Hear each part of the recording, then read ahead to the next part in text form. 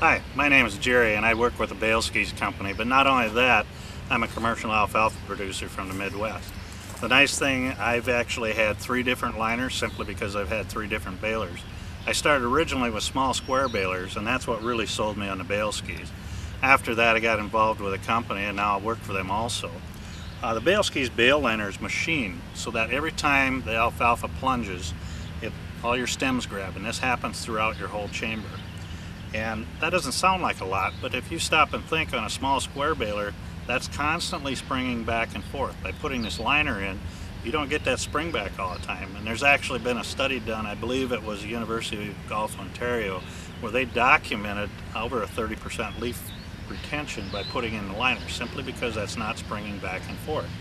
Now, it does a couple other things. It gives you a nice, perfect square bale. If I'm selling to customers, I want nice looking bales when I drive in with that load. Uh, it's particularly important if you're using a bale accumulator or a New Holland bale pickup wagon. All them bales need to be the same length. By putting this liner in, your alfalfa, your grass, uh, no matter what you want to bale, always moves through the same. So all of a sudden, all your bales start coming out the same length. The added advantage is by having that machining in there, you can lower your tension, get a nice tight square bale, and use a lot less stress. It takes a lot of stress off knotters on these small square balers. Uh, we've got people that bale wheat straw, they can get added weight in the bale. Uh, we got people that grow bale a lot of corn stalks Midwest, probably here in the Northeast also. Uh, we've actually had people split out the corners on these big square balers because of buildup.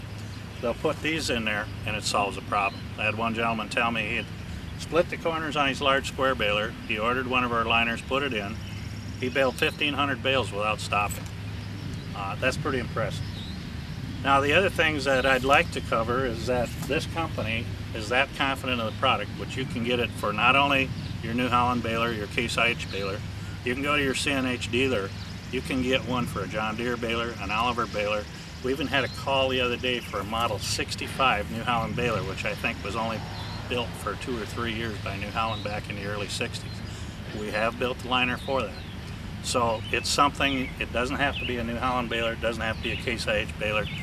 It can be an Oliver, it can be whatever brand, John Deere. You can go to your dealer and pick that up.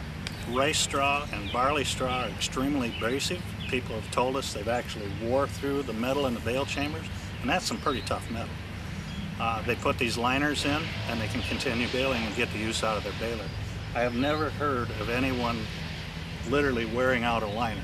It's rated five times stronger than mild steel, and that's why it's a patented material. I guess my advice is uh, talk to your neighbors if they've had one. Uh, the company stands behind the product, and you don't have to be scared of putting one in. If you don't think after one season it's doing its job, you're able to send it back and get a full money back refund. Thank you.